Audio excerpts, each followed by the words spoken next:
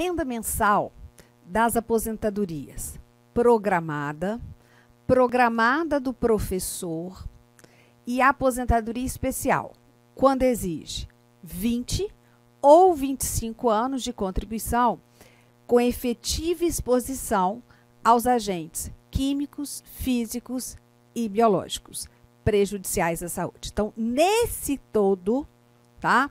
Nós vamos ver a renda mensal inicial. Olha, aposentadorias programadas. Então, a programada comum e a programada do professor. Do professor que se dedica exclusivamente ao magistério da educação infantil, ensino fundamental e médio. Bom, na aposentadoria especial, nesse caso aqui, que exige 20 ou 25 anos de contribuição sob efetiva exposição aos agentes prejudiciais à saúde, né? E aí eu já coloquei para depois você vai verificar, quando é com 20 anos, 60, 58 anos de idade. Quando é com 25 anos, 60 anos de idade. Só para mostrar que essas todas aí têm o a mesma renda mensal inicial, que vai ser de 60% do salário de benefício, quer dizer, média do salário de contribuição correspondente a 100% do período contributivo, mais 2% para cada ano que exceder 20 anos de contribuição se homem e 15 anos de contribuição se mulher. Veja aqui o artigo 53 do decreto 3048. O valor da aposentadoria programada corresponderá a 60% do salário de benefício definido na forma prevista no artigo 32, com acréscimo de dois pontos percentuais para cada ano de contribuição que exceder o tempo de 20 anos de contribuição para os homens ou de 15 anos de contribuição para as mulheres. 67. O valor da aposentadoria especial, olha, corresponderá a 60% do salário de benefício, definido na forma no artigo 32, com acréscimo de dois pontos percentuais para cada ano que exceder o tempo de 20 anos de contribuição, exceto no caso da aposentadoria do inciso 1 do artigo 64, que vai exigir 15 anos, e das mulheres, cujo acréscimo será aplicado para cada ano de contribuição que exceder 15 anos de contribuição. Esse artigo 67, ele é um pouquinho complicado, né? Mas quando eu explicar renda mensal inicial, fica tranquilo. Então, essas aposentadorias que eu apresentei aqui, têm 60%, né? Do salário de benefício, se for homem, os 2% são acrescidos a partir, ou seja, para cada ano que exceder os 20 anos. No caso das mulheres, olha, 60% do salário de benefício até 15 anos de contribuição e esse acréscimo de 2% só começa quando excede os 15 anos de contribuição. Então imagine, a aposentadoria programada ela exige do homem 65 anos de idade e, no mínimo, 20 anos de contribuição. Para a mulher, 62 anos de idade e, no mínimo, 15 anos de contribuição. Então, veja aqui: João, Maria. Ambos vão se aposentar na aposentadoria programada. Quais são os requisitos? 65 anos de idade, 20 anos de contribuição e depois vocês vão ver 180 contribuições de carência, já viram inclusive. Mulher, 62 anos de idade, 15 anos de contribuição e carência de 180 contribuições mensais. Pois bem, João e Maria trabalham na mesma empresa e têm o mesmo salário de benefício. 5 mil reais.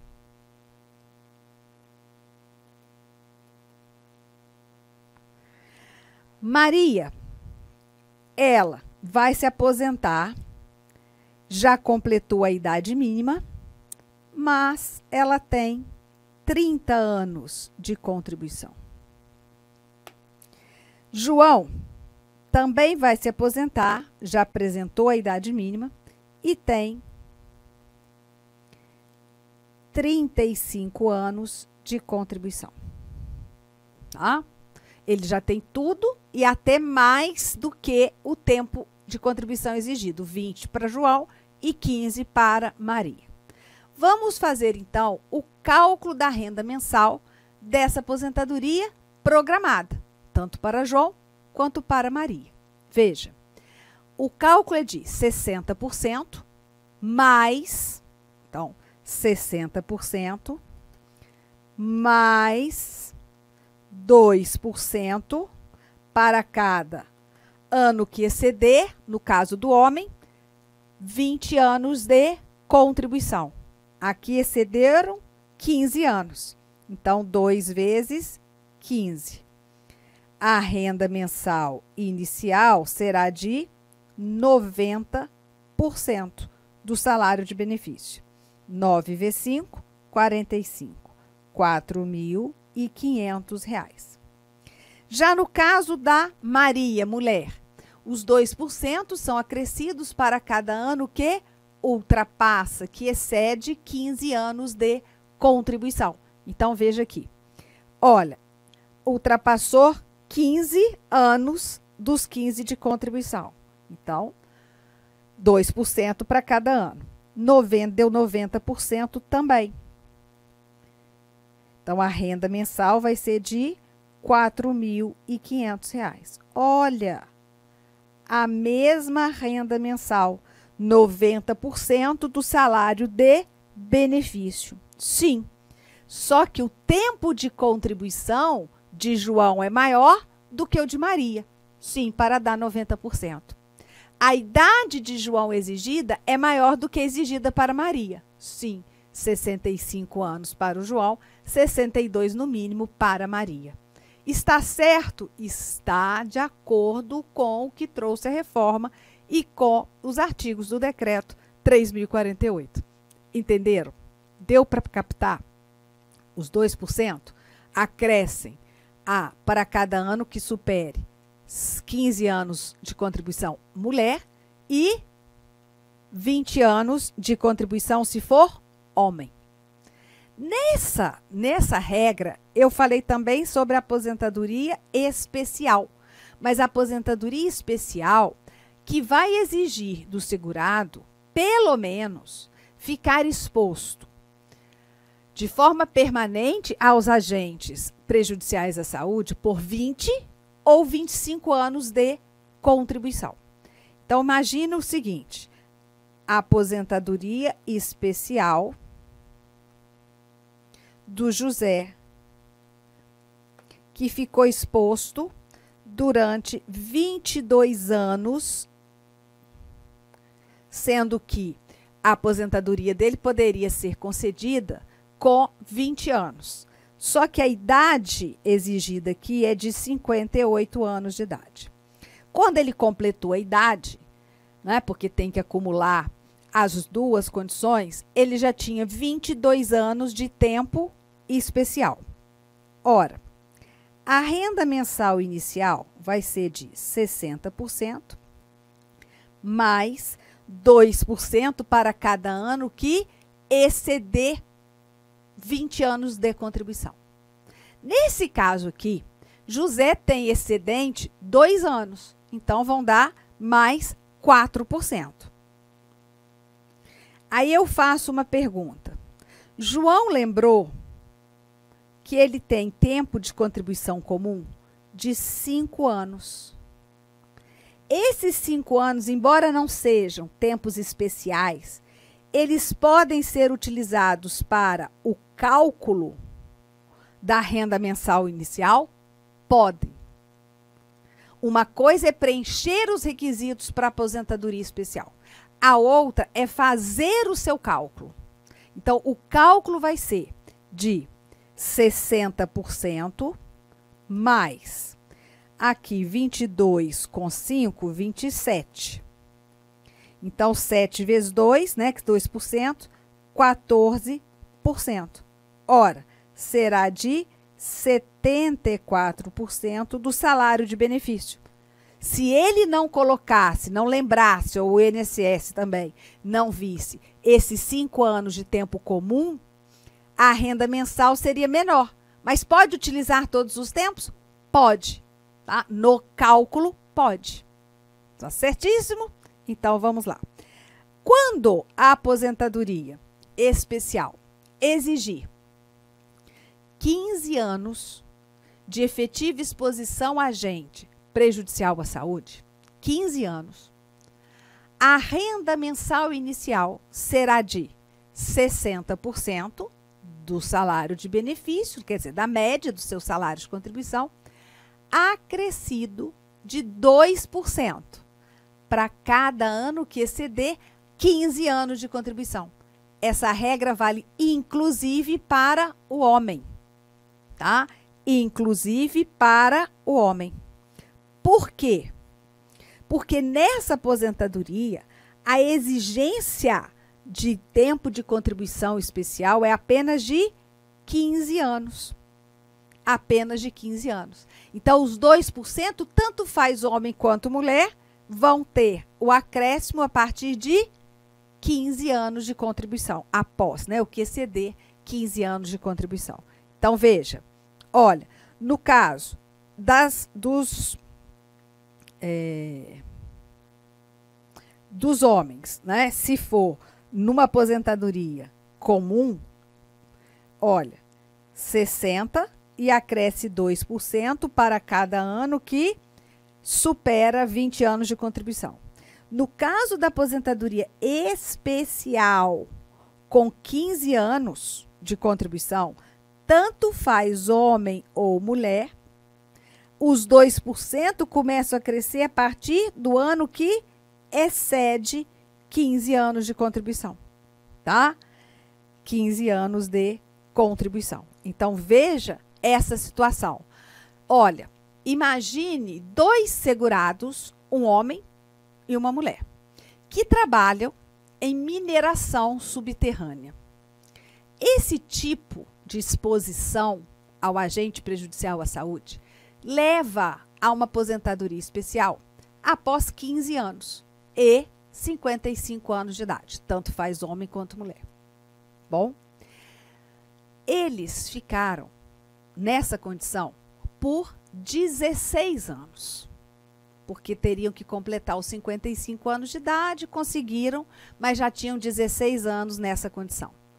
Ora, não tem outro tempo de contribuição, apenas esses 16 anos.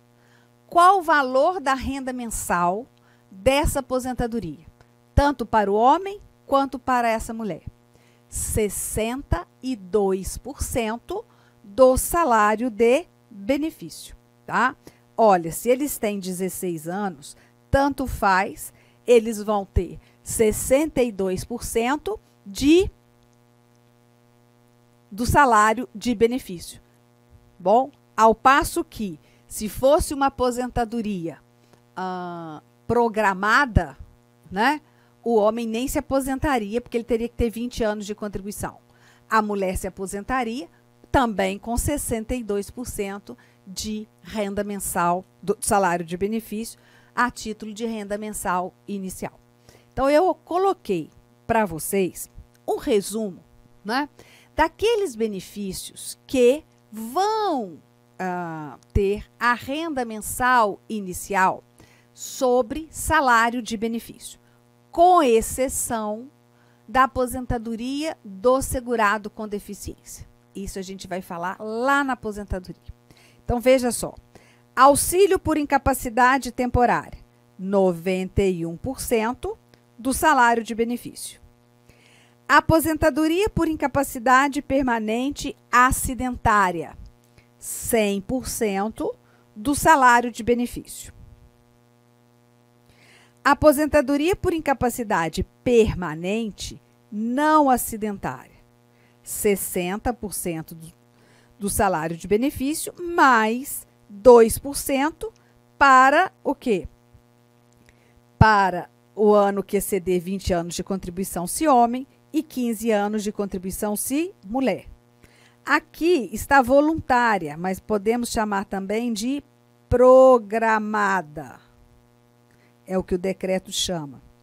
60% do salário de benefício, com acréscimo de 2 para cada ano que exceder 20 anos de contribuição no caso do homem e 15 no caso da mulher. Inicialmente eu gostaria de pedir licença para vocês, pois interrompi seus estudos, mas este vídeo é um vídeo demonstrativo para você conhecer os nossos processos.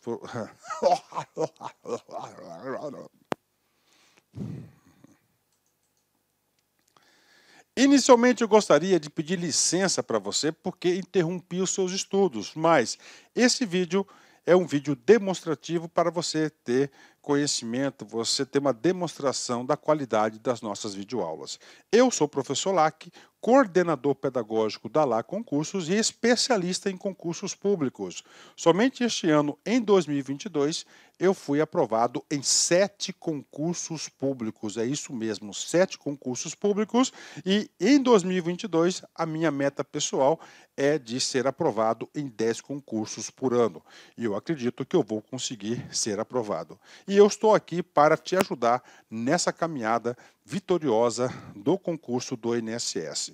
O nosso curso online, ele é um curso super atualizado, super competitivo, ele fecha o edital, ele é top de linha e eu tenho certeza, se você seguir as nossas orientações pedagógicas, se você seguir o nosso cronograma de estudos, a nossa metodologia, que é o personal coach. O que é personal? É pessoal. O que é coach? Coach é pessoal.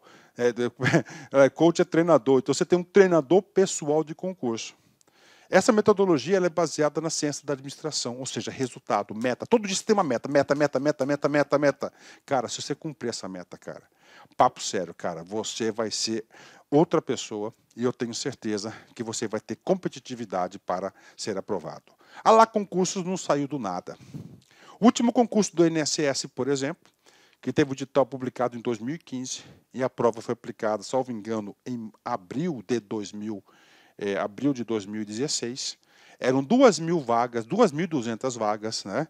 2.200 vagas e nós tivemos a honra de aprovar 204 alunos, 204 alunos dentro tá, do número de vagas. É isso mesmo, 204 alunos. E neste concurso, nesse certame, nós queremos superar a nossa meta. Queremos superar a nossa meta. Essa turma, já tivemos quatro turmas pré-editais, agora a gente está na turma pós-edital do INSS 2022. Bacana? Professor, quanto custa? Está aqui, ó apenas 10 parcelas de 30 reais o nosso curso é, online e nós temos o curso presencial também com transmissão ao vivo, né? Olha aí, né? Só para uma postagem do nosso Instagram lá de 2016, né? 204 alunos aprovados, ok? Meus amigos, minhas amigas, espero vocês aqui na Lá Concursos. Vocês podem ter certeza que eu, professor Lac, eu farei de tudo, tudo mesmo, para que você atinja, alcance o seu resultado.